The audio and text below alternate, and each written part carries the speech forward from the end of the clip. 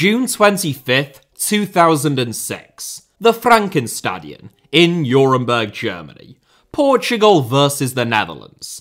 Two of world football's big hitters in red hot heat, facing off in probably the most eagerly anticipated round of 16 tie at the 2006 World Cup. Portugal boasted a forward line containing Luis Figo, Cristiano Ronaldo, and Deco. Meanwhile, the Netherlands could call upon the varied talents of Wesley Sneijder, Robin van Persie, and Arjen Robben. It was a game, however, that wouldn't be remembered for the flair or attacking prowess of those on either side, but rather for the viciousness and sheer chaos that engulfed the game. There was literal blood, sweat, and tears, in addition to a record breaking 20 bookings, including 4 red cards. The game became known as the Battle of Nuremberg, or the Massacre of Nuremberg in Dutch, as the Netherlands lost 1 0, and it is a game that still lives long in the memory for many football fans almost 18 years on.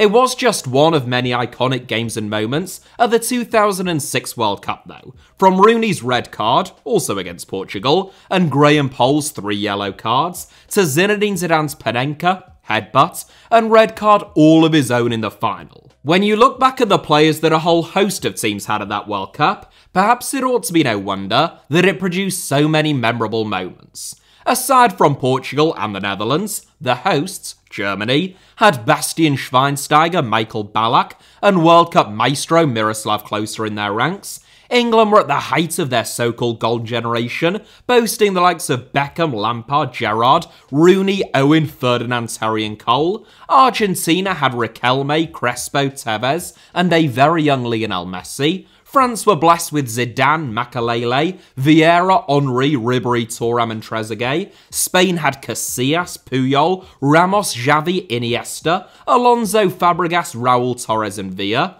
The holders, Brazil, could call upon the likes of Ronaldinho, Ronaldo, Kaká, Cafu, Robinho, Roberto Carlos, and Adriano, and of course, the eventual winners, Italy, named the likes of Buffon, Cannavaro, Nesta, Zambrotta, De Rossi, Gattuso, Pirlo, Del Piero, Toni Totti, and Inzaghi, among a litany of star players. Even the likes of Sweden had Ljungberg, Ibrahimovic and Larsson, the Czech Republic had Nedved, Rosicky and Cech, and Australia had Cahill, Kewell and Viduka. I recently saw it claimed online that the 2006 World Cup was the moment in which football peaked, and that it has all been downhill since then. We no longer have so many super teams or star studded squads. Gone is the inspirational individual brilliance of flair players like Ronaldinho or Riquelme, and gone too are the days of endless chaos and excitement that made football the most popular entertainment and participation sport on the planet replaced by athletes rather than entertainers, the supremacy of systems over individual flair or invention, and an obsession with control and ever diminishing the amount of chaos in the game. Or at least, that's the claim, and it is one that you'll find everywhere on group chats, in the stands on a weekend, and on social media. But is it actually true? Have footballers really got worse, or at least less technically gifted? And has football become less enjoyable and entertaining? Or are we all just getting older, looking back with rose tinted spectacles, and, in the words of Harold Macmillan, we have never had it so good? Well, having long pondered all of the above, that's what today's video is all about. So sit back, relax, and join me on a journey back in time Back to the good old days, before all of this tiki-taka, Gegenpress, VAR and XG nonsense, as we take a look at whether football has actually got worse in recent years, or whether it's all just blind nostalgia. At the core of the debate about whether football has got worse, or at least less enjoyable, is a sense that something has been lost. That something, above all else I think, is a sense of spontaneity, eccentricity and fun. Throughout the history of football, the most beloved players haven't always necessarily been the best players, but the most entertaining and inventive. It's why the likes of Len Shackleton and Raich Carter captured the imagination even more than Tommy Lawton or Stanley Matthews in the 40s and 50s, why Garrincha, not Pele, was nicknamed the Joy of the People, and more recently, why the likes of Best, Maradona, Cantona, Gascoigne, Zola and Romario always captured the public's imagination. The fact that Stanley Matthews and Pele, for example, who were objectively the greatest players of their generations, were so perfect, squeaky clean media personas, incredibly dedicated professionals, and almost flawless in terms of their decision making, almost made them seem more alien. Make no mistake, both were still adored, and both were still incredibly gifted and creative, but in a way that was difficult for fans to identify with. But someone like Garrincha, who was so flawed in terms of his personal life and so unpredictable on the pitch, well, that only made him more relatable. It wasn't just that Eric Cantona was brilliant at football, but the fact that he kung fu kicked a Crystal Palace fan and then gave a bizarre speech about seagulls and trawlers that no one quite understood. When the seagulls follow the trawler, it's because they think sardines will be thrown into the sea. Thank you. Stuff like that only added to the appeal. These were human beings who would lose the ball, make mistakes every now and then, and have moments of sheer madness both on and off the pitch, but also provide moments of pure inspiration that made you fall in love with the sport all over again. And to that extent, the mistakes and the madness didn't detract from the affection for these players, it strengthened it, making them more human and more relatable. It is why, for a long time, and even to this day in fact, despite the 2022 World Cup, Diego Maradona is still much more adored in Argentina than Lionel Messi. By almost any metric now, especially following the last World Cup, Messi has had a far superior career to Maradona. One can argue about sheer ability or their respective peaks, though even there, I think that there is a solid case to be made that Messi still comes out on top. But in terms of goals, assists, consistency, longevity, trophies, records, and virtually whatever else you can think of, there is no comparison. Both on the pitch and off it, though, Maradona was pure chaos. From the mid 1980s onwards, Maradona was a cocaine addict, which saw him banned for 15 months in the early 1990s. He was sent off against Argentina's great rivals Brazil in a 3 1 defeat at the 1982 World Cup, and he was sent home from the 1994 World Cup in disgrace and handed another lengthy ban, this time after testing positive for the use of a banned performance enhancing substance. You might have thought that would have damaged Maradona's reputation, but his fallibilities only made him more relatable and added to the reverence that surrounded him. Messi, by contrast, was viewed as being so polished and perfect, refined and developed within the four walls of La Masia in Europe, rather than on the harsh streets of Buenos Aires, that it was somehow harder for mere mortals to identify with him. Messi's failures with the national team, therefore, engendered far less sympathy, and it is ironic in some ways that it was as much Messi's change of personality, the slight roughness and nastiness that he showed at the 2022 World Cup, particularly against the Netherlands, that changed the perception of him in Argentina, as it was his starring role in actually winning Argentina the World Cup, as Maradona had done in 1986, with even more controversial moments.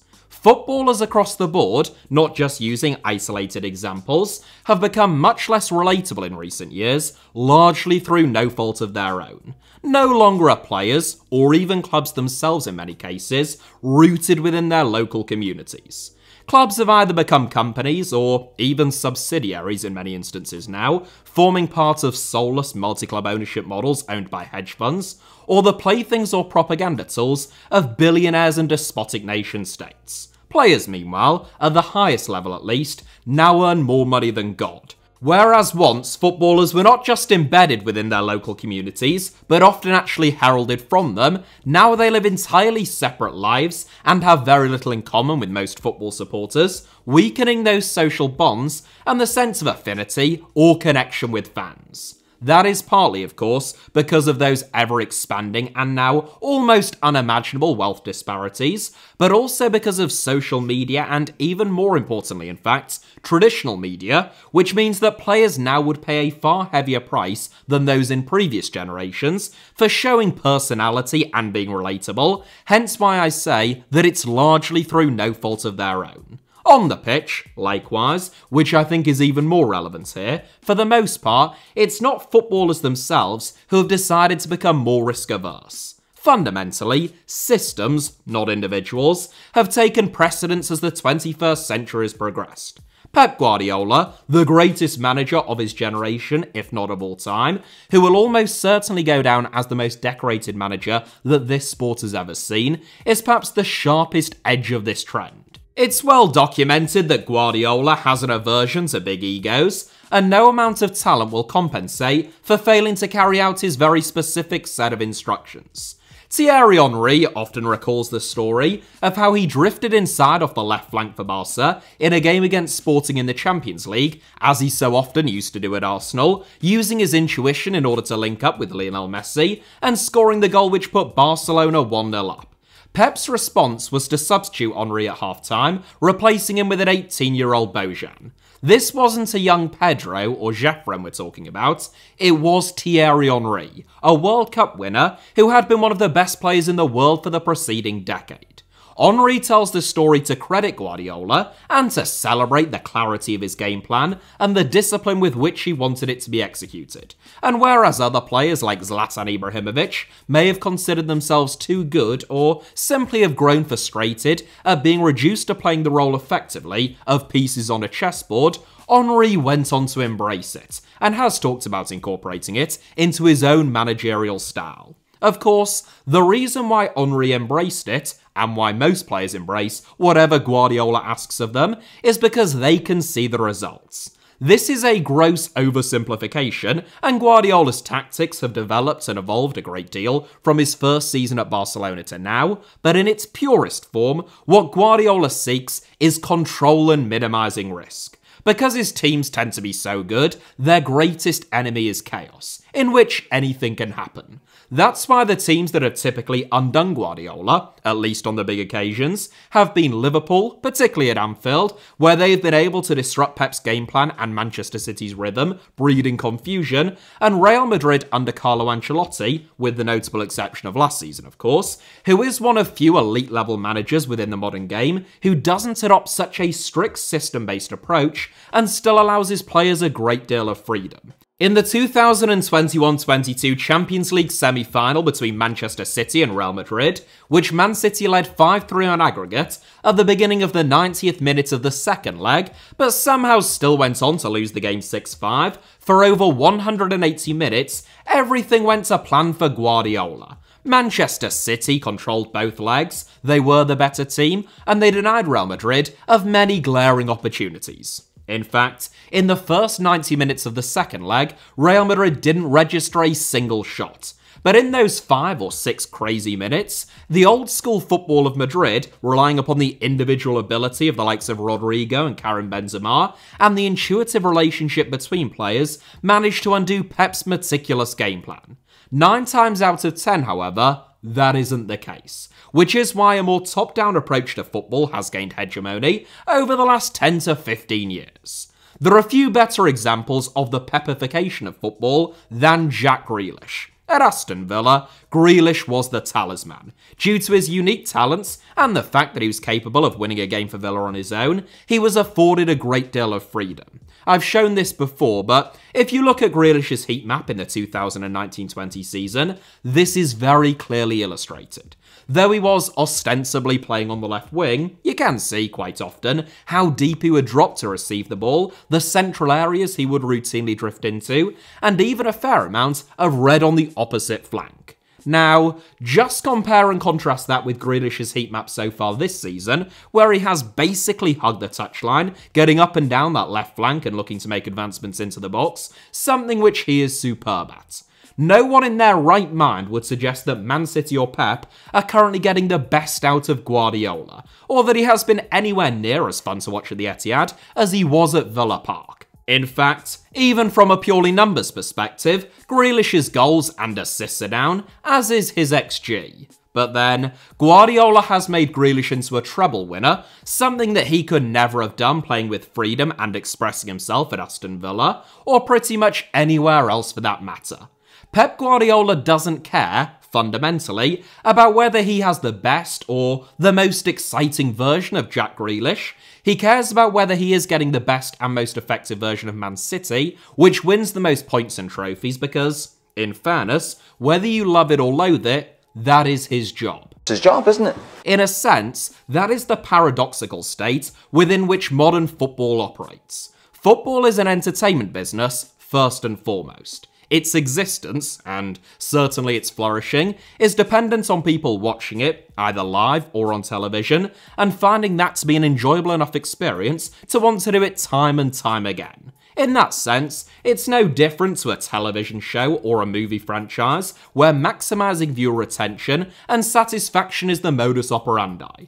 However, almost everyone who is directly involved in the sport, managers, owners, players, consider it to be almost solely a results business, and their principal role being to win first and to entertain second, if at all. Of course, teams have won and been successful whilst being entertaining, and there isn't an objective best, most fun, or most exciting way in which to play football. Nonetheless, there is a clear collision course between these two aims and ideals of entertainment versus results. And as the money in football continues to ramp up, and the people who run the sport, increasingly, care most about results and the bottom line, that divide is only likely to expand. And yet, that money and that bottom line is entirely dependent on people still considering football to be good entertainment and a good use of their time and resources. You can see how it becomes a bit of a paradox. Right now, though, the evidence is clear. No significant damage has been done to interest in the sport by football becoming more results driven, systems triumphing over individuals, and a reduction in flair and expression. In fact, Football has never been more popular or lucrative than it is now, and it is still somehow continuing to grow, despite already being by far the most popular sport on the planet whether there will be negative consequences in the long term, not just because of the changing styles, but also the reduced competitiveness, and the fact that throughout Europe's top leagues, we see the same teams winning domestic trophies and reaching the latter stages of the Champions League season upon season, still remains to be seen. My personal view is that, to a certain extent, football is in serious danger of losing one of its least recognised but most important USPs. Without wanting to upset anyone here or insult other sports, most, if not almost all sports, are highly repetitive. Whether it be cricket, basketball, golf, rugby, darts, or athletics, what you are typically seeing is the same actions repeated time and time again, almost like muscle memory, and the person or team who repeats them with the most proficiency tends to win.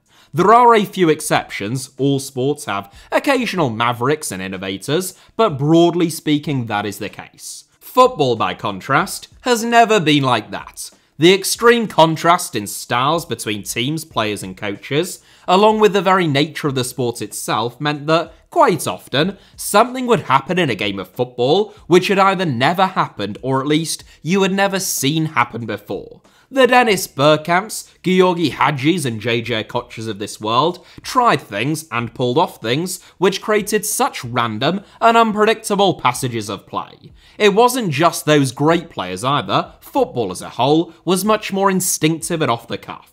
Players were taught how to play through coaching, but not what to do, when, where, and how, and certainly not to anywhere near the same extent.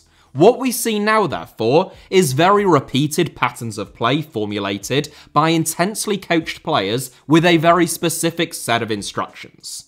We still get moments of randomness, unpredictability, genius, and chaos. It is in the nature of the sport, but they are becoming fewer and farther between, making football much more similar to those more repetitive and monotonous sports that it once had the edge over. None of this is lost on footballers themselves, at least outside of the youngest of them, to whom it is all that they have ever known. Responding to a clip of a goal that he scored against Burnley in 2010 on Twitter, Cesc Fabregas wrote to Samir Nasri, quote, Pass and move, pass and move, my friend. Nowadays, they wouldn't allow you to do this. End quote.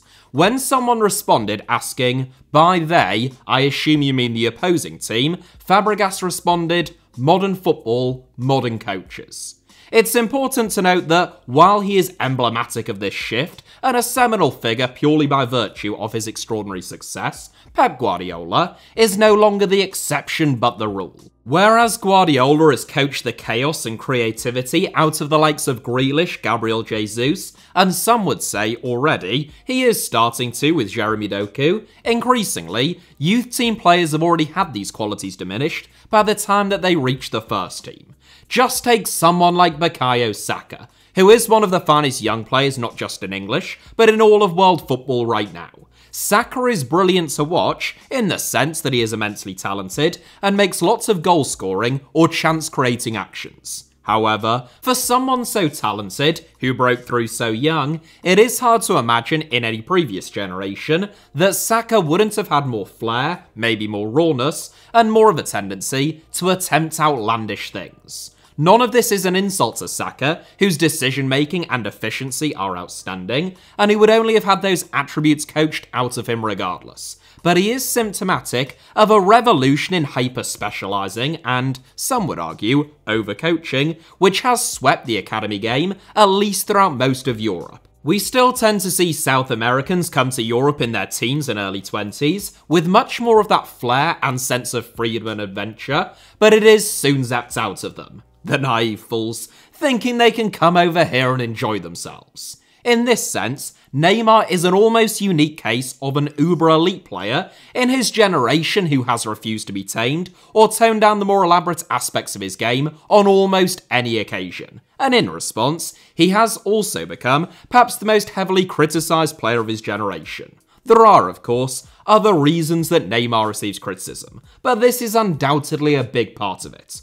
Whereas Messi and Ronaldo, who are, were, or at least ought to have been Neymar's natural peers, radically changed their game over the years, Messi under Pep Guardiola incidentally, who transformed him from being a technical marvel in the mould of a Ronaldinho into one of the most prolific goal scorers of all time, and Ronaldo under Alex Ferguson, who oversaw his transition from being a tricky wide man obsessed with attempting ever more elaborate and carefully rehearsed tricks, flicks, and pieces of skill, into a ruthless goal scoring and counter attacking machine, Neymar has never really changed the fundamental way in which he thinks about football or plays the game. He has been rewarded for that stubbornness by most people looking at the number of goals that he has scored, still more than 350 at club level, it should be said, which is more than Wayne Rooney, Didier Drogba, and he will soon overtake Thierry Henry, as well as being Brazil's all time leading goal scorer. But they compare it to Messi and Ronaldo's output, more than 800 goals each, and they conclude that Neymar was never on the same level as those two.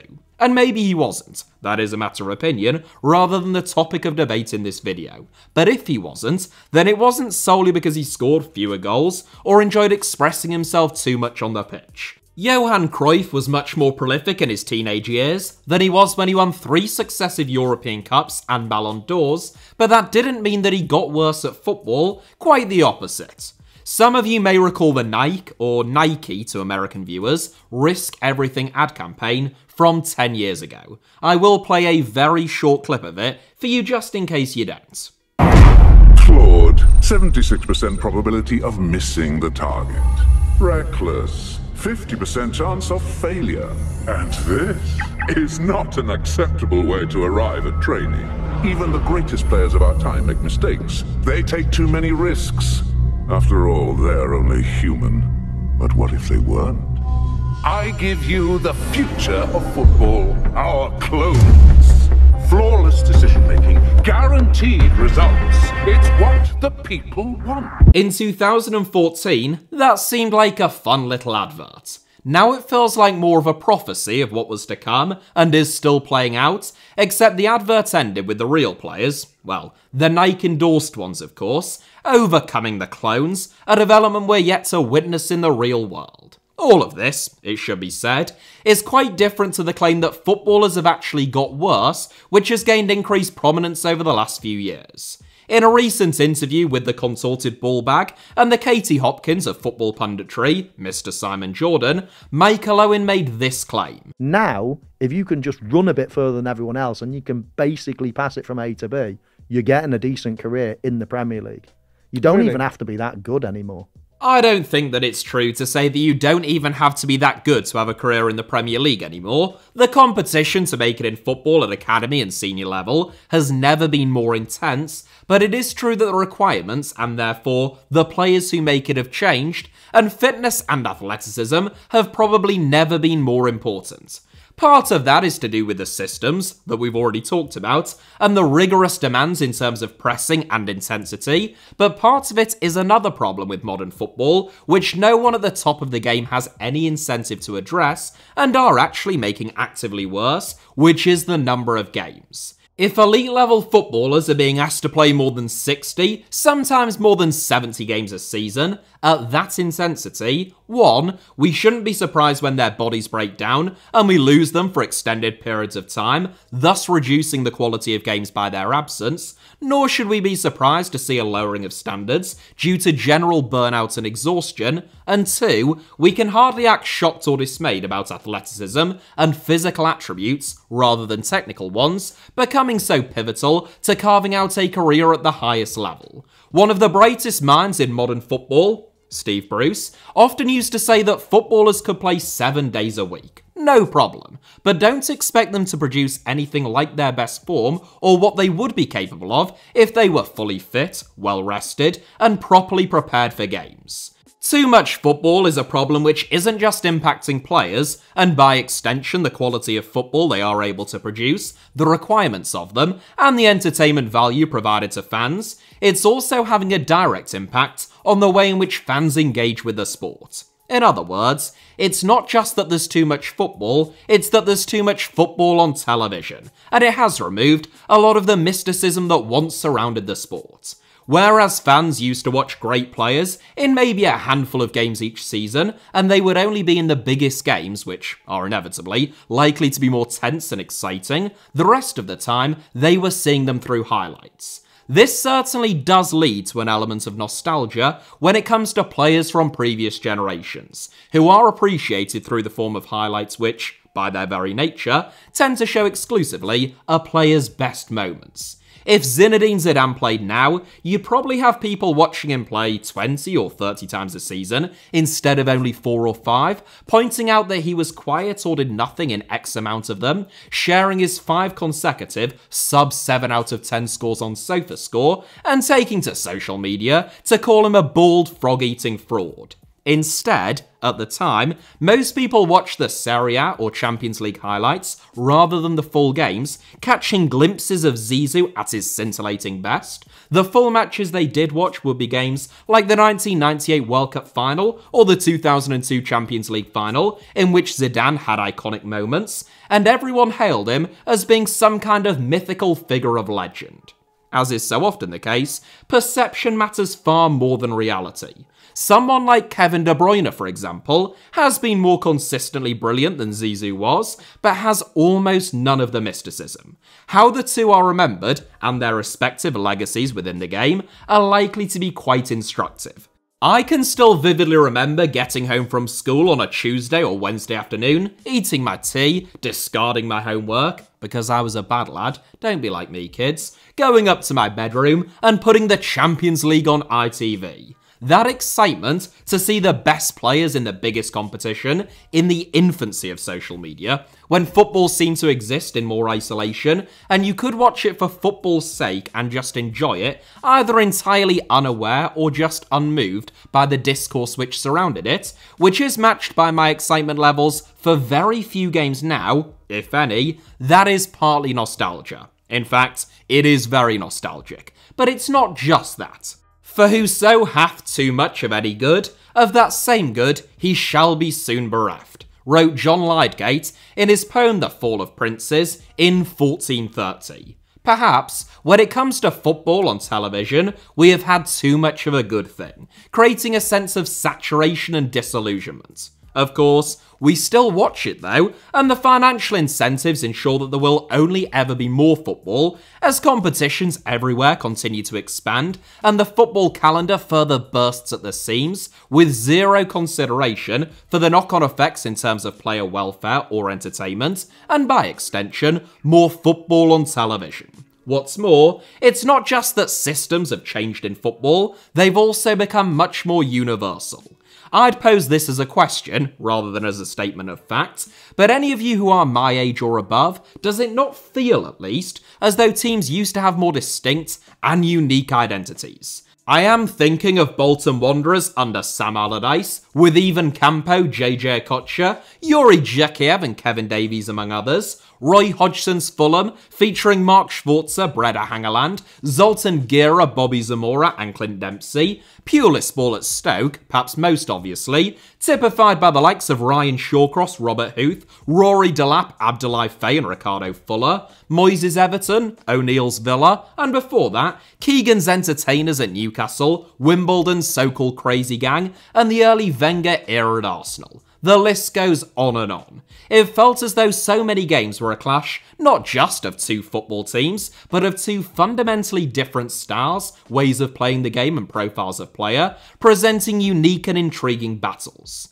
Even as I am speaking, though, and even though I don't think anything that I've just said is untrue, I can feel the nostalgia seeping out of my pores. The reality is, to a certain extent, every generation has done this. As humans, we tend to look back on our adolescence, youth, and formative years with rose tinted spectacles. If you go back and watch a lot of the games that I'm talking about, say Wenger's Arsenal versus Hodgson's Fulham, though there was undoubtedly a huge culture and style clash, some of the football was, well, pretty turgid even in a lot of the games between the top teams, if you go back and watch them in full now, again, not just the highlights, there are entire passages of play in which the ball barely touches the ground. We fixate on the Okochas, Bergkamp, Zolas, and Cantonas of these eras, for obvious reasons, and tend to forget about the centre backs who could barely complete a five yard pass, or the centre forwards who made a living by elbowing people. It's like when I think about my time at school 10 years after leaving, I think of spending entire lunch breaks playing football, messing about in lessons, disrupting other people's education, likely to the severe detriment of their grades and future job prospects. Sorry about that. And not having a care in the world all of the bad bits, which was most of it, like sitting in detention, spending five years trying and failing to learn anything about limestone or algebra, or being forced to play rugby, that all fades while the enjoyable bits are magnified. It's a bit of a weird analogy. Well, Dylan, I suppose it is and it isn't, because in large part, it is the exact same thing. The idea that footballers are worse now, I think, is a nonsense. As a collective, Footballers are miles better now than ever before. The standards are ridiculous. League 2 and National League players can all trap and pass a ball, which sounds basic, but if you go back and watch League 2 football from the 1990s, you'll know that that hasn't always been the case. The standard throughout the pyramid, and indeed the talents of those who drop out of the sport entirely, having been in academies, is outstanding. And it would be foolish to assume that those at the top aren't also better than ever before, but they're also different, and the sport is different, and it's not just nostalgia, much as we are all guilty of it, to notice that change and to prefer what came before it. That is it for today's video. As ever with video essays on this channel, there is a whole load of stuff that I wanted to but haven't had the chance to talk about, from the rampant elitism and ever more uneven distribution of talent, to the advent of VAR and the impact of social media. But this video is already rather long, and Manchester City versus Arsenal is about to start. Yes, football on the television, I am part of the problem.